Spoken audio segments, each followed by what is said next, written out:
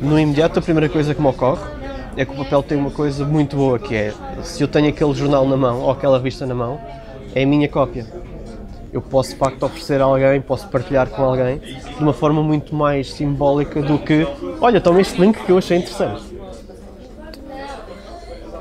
Isso pode ser uma mais-valia se o conteúdo for ao encontro também desse simbolismo e se for, de facto, muito mais rico.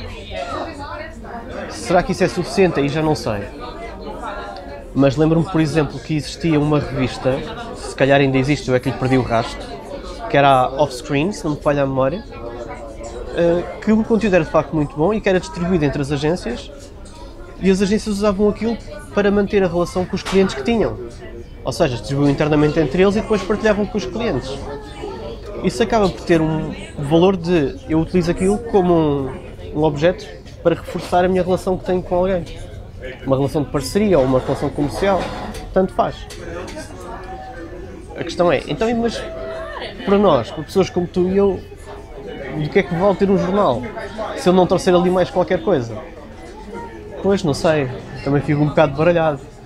Acho que a questão do simbolismo e de um conteúdo mais rico, se calhar mais aprofundado, pode ser uma das formas em que se pode tornar um símbolo de status. Em que, olha, ele compra mesmo aquela revista, ele tem mesmo uh, aquele hábito de ler e de se inteirar sobre um tema.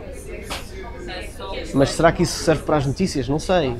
Se calhar serve para reportagens mais de fundo.